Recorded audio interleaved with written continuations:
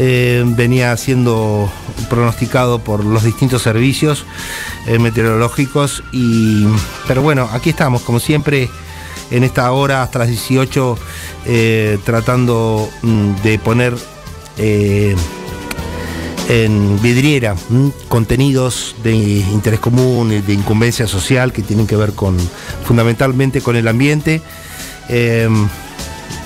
la difusión de organizaciones sociales, los derechos de los animales eh, y la responsabilidad social de distintos eh, actores de la vida social forman parte de esta mesa, son patas de esta mesa de contenidos que es el péndulo, que transita su quinto año y por supuesto eh, el arte, la cultura, espectáculos, la calidad de vida, el turismo responsable, sostenible, también completan la propuesta. Estamos hasta las 18 horas, como dije, mi nombre es Ignacio Aguirre y está el señor Santiago Cácerly en la operación técnica de este programa. Vamos a saludar inmediatamente aquí a Daniel Galet, que es eh, nuestro entrevistado de hoy y con el cual vamos a estar hablando en instantes nomás. ¿Cómo estás, eh, Daniel? Muy bien, Ignacio, muy bien. Y qué lindo lo que decís eh, en cuanto a lo gris que está en la tarde, porque está muy linda para hablar de arte, muy linda. Esto invita. Exactamente. Es para como para guardarse con unos mates y, y bueno, eh, seguir hasta las 18 horas entonces a el péndulo, como dije recién, este espacio que trata de hacer un, ciclo radial de servicio, quizás uno de los pocos que se dedican a estas temáticas de manera continua, permanente en toda zona norte. Así que los invito a, a transitar, a moverse junto al péndulo en este equilibrio dinámico que tratamos de llevar adelante hace cinco años, como dije, y vamos enseguida nomás con Daniel Galet, que es eh, bueno, director de una eh, galería de arte muy importante en lo que es el, centro de Buenos Aires, allí al 900 de la calle Libertad, casi pegando eh, Marcelo Tedalviar. Y enseguida vamos a estar con él porque tiene importantes novedades para contarnos.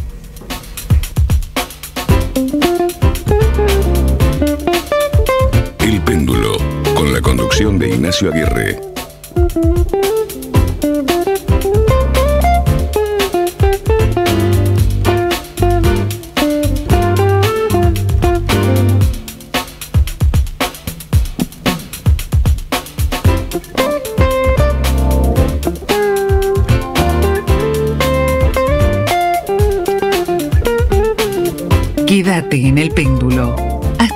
Hasta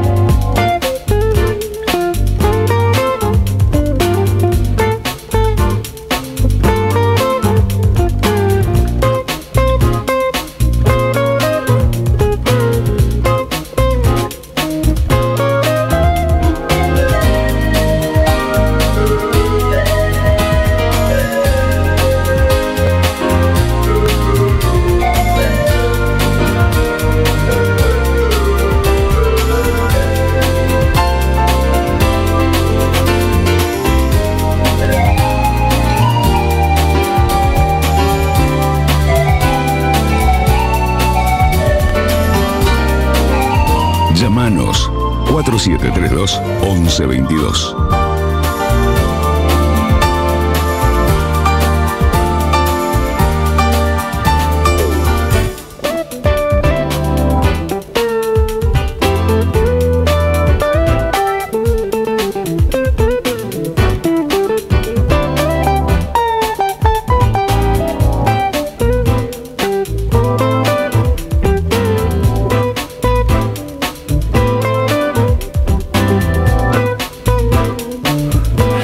Bien, 17, 14 minutos y entonces estamos transitando el péndulo con nuestra primera entrevista aquí en vivo y en directo el señor Daniel Galet, que es, eh, como dije, eh, director de la Galería de Artes Los, Coleccionistas, Pintura Argentina, que está allí en, el centro.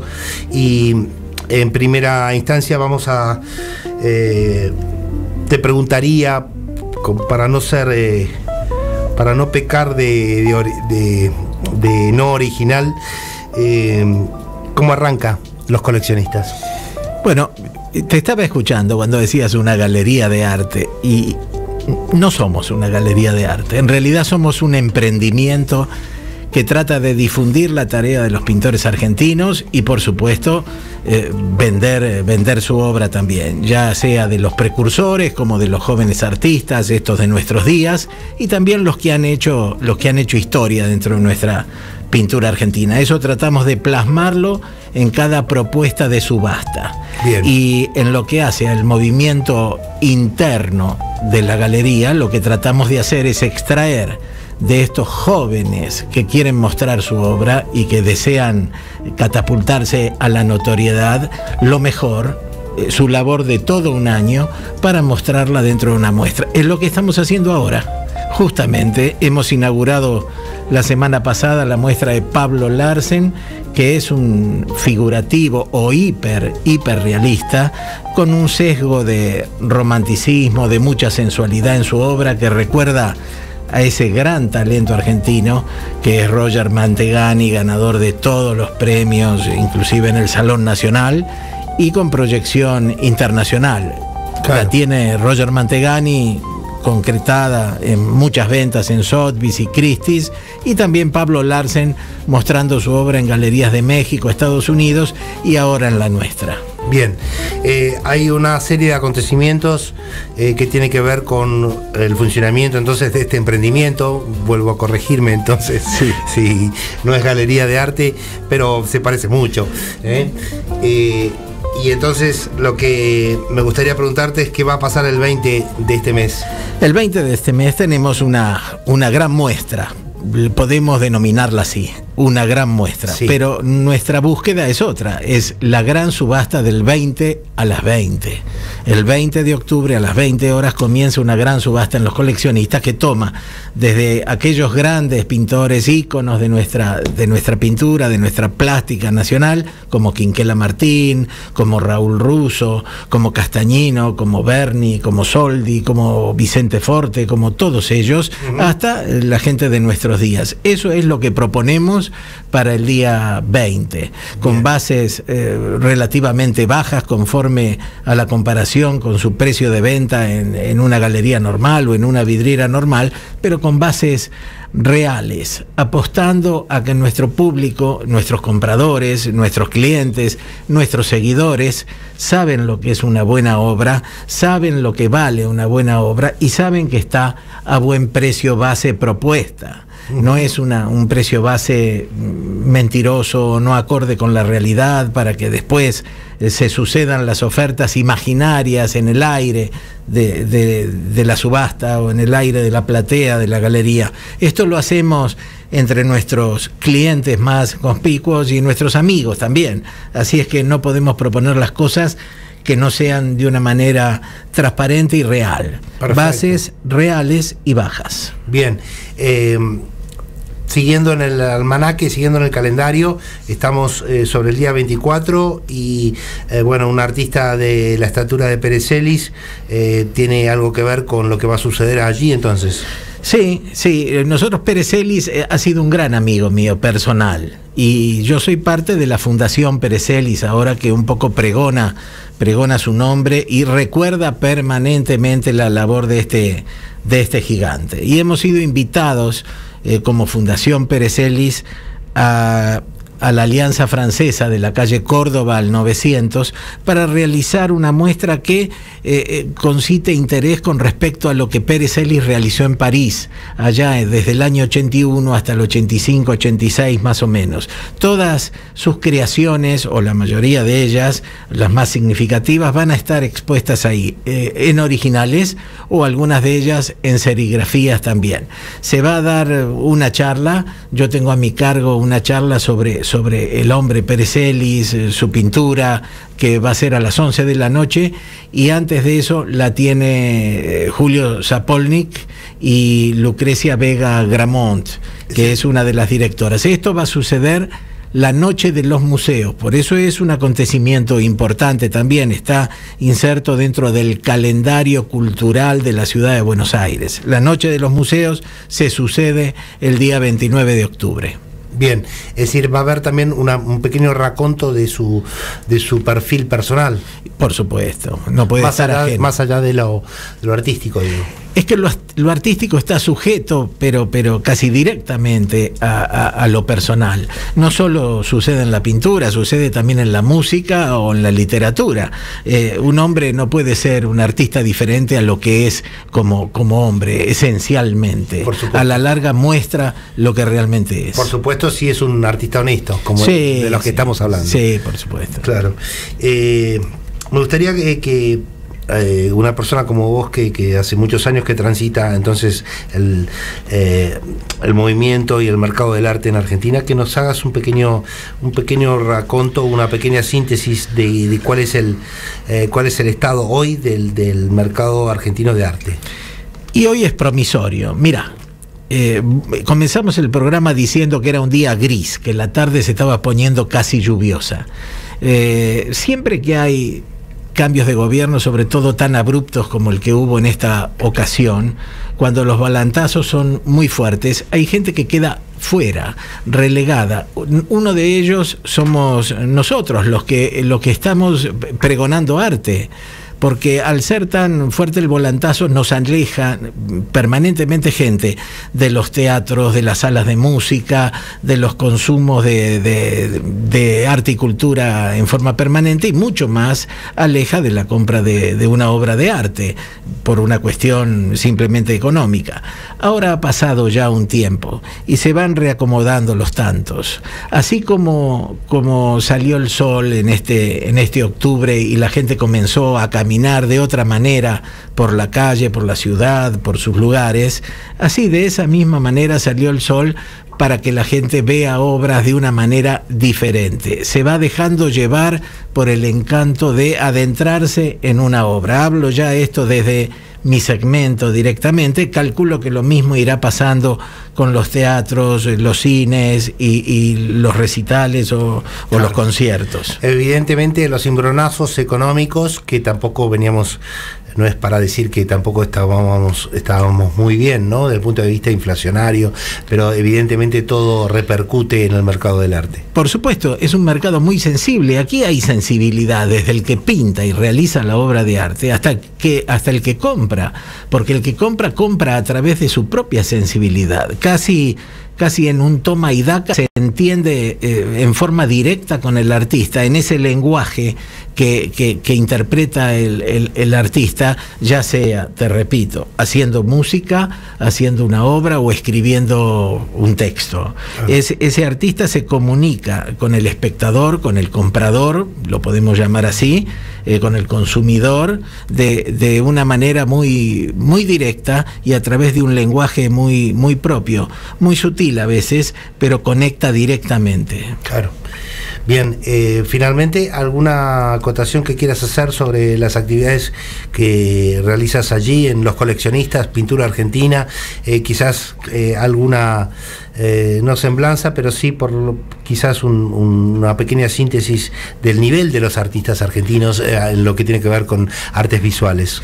El nivel de los artistas argentinos es excelente, como el nivel de cada argentino cuando se proyecta individualmente. Esto lo sabemos todos. Acaba de pasar en un partido de fútbol ayer. Como equipo no hemos dado nada, pero individualmente todos sabemos los puntos que calza cada uno, ¿verdad? Borges eh, decía, el argentino individualmente eh, no es inferior a nadie, pero en conjunto prácticamente no existe. Y es una falencia eh, sociocultural que padecemos desde hace décadas, muchas décadas. Eso, eso rescata muchísimo al arte argentino. ¿Por qué? Porque la pintura es algo que se hace en soledad, no se hace en equipo. Entonces esto ayuda a que el pintor se sienta grande, que sea más grande y se pueda desarrollar plenamente. Después está la cuestión personal. Si el pintor es inquieto y quiere proyectarse desde otros mercados, por supuesto que va a lograr otras cosas diferentes, mejores en cuanto a cotizaciones que las que pueda lograr aquí, que la cotización de un artista aquí siempre está supeditada al movimiento económico o a los cimbronazos que podamos tener como, como eh, país como o, sociedad. o como sociedad o como mercado también. Por supuesto. Eh, finalmente, dejarnos las coordenadas entonces de los coleccionistas Pintura Argentina, eh, tanto en Facebook como lo- todas las Bueno. herramientas que hoy tenemos desde el punto de vista tecnológico, informativo y comunicacional. Bueno, ahí nos pueden buscar. En Facebook es Los Coleccionistas, Pintura Argentina. Si no, directamente estamos en la calle Libertad y Marcelo T. de Alvear. Eh, abiertos desde las 11 de la mañana hasta las 20 horas en horario corrido. A la mañana suelen venir algunos colegios de la zona que siempre los atendemos con, muy gratamente. Cuando son muy chiquitos hasta nos hacen dibujos y nos dejan de recuerdo porque se van motivados. Esto, esto es muy bueno, esto es muy grato para nosotros también. Y durante las tardes muchas veces eh, tenemos ágape, conferencias, charlas o presentaciones del libro. Es decir, Hay un horario bastante una actitud. ext- Sí. un horario extendido, digamos, durante todo el día. durante todo el día, de 11 de la mañana a 20 horas. Perfecto. Daniel Galet, eh, titular entonces de los coleccionistas Pintura Argentina allí en Libertad 978. Mm, Casi Marcelo T. Marcelo. Marcelo T. de Alvear, eh, gracias por haberte subido a este espacio de arte también, eh, que- ya que y sus- ¿qué hace la sustentabilidad? ¿Mm? Eh, aquí quizás los contenidos fundamentales son ambiente y sustentabilidad, pero bajo ese paraguas, ese, para- ese paradigma que es la sustentabilidad y la calidad de vida, vaya si el arte contribuye a la calidad de vida. Así es. Muchas gracias Ignacio por invitarme a, a esta, a esta charla y déjame que invite a nuestros, a nuestros oyentes a que pasen por la galería, sobre todo el día 20 de, de octubre a las 20 horas, que se van a llevar un panorama diferente de lo que es la pintura argentina. Vamos a dar una ligera cabalgata sobre la historia de la pintura argentina con cada obra que está ahí expuesta, porque nuestras subastas son muy particulares, son diferentes. Cada obra que sale a subasta es explicada técnicamente, eh, puesta en el contexto que debe ir conforme al tiempo en el que ha sido pintada, a su fecha y demás, la tendencia que, que ha desarrollado, hiperrealismo, surrealismo, eh, la que haya ocupado en, ma- en materia de su espacio. Déjame invitar a esa gente a que no se pierda esto, que lo sentimos con el alma eh, como para difundir y pregonar. Por supuesto. Eh, bienvenida entonces la pro- las diversas propuestas entonces que desde Libertad 978. ¿m? Eh, allí los coleccionistas, pintura argentina, el señor Daniel Galat ha pasado por el péndulo. Buenas tardes. Buenas tardes. Vamos a la tanda.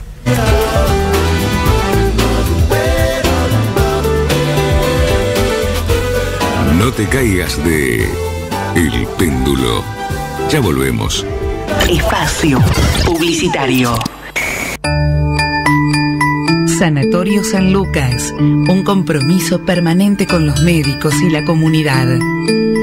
Belgrano 363, San Isidro, teléfono 4732-8888. Sí es San Isidro, sí al quincho, sí a los amigos, sí al barrio, sí a la cultura, sí a la náutica, sí a la industria, sí a las cámaras, sí a la seguridad, sí a crecer, sí a los grandes y sí a los chicos. ¿Te animás a seguir diciendo que sí? Yo, yo digo que sí. San Isidro, municipio. Fin. Espacio Publicitario.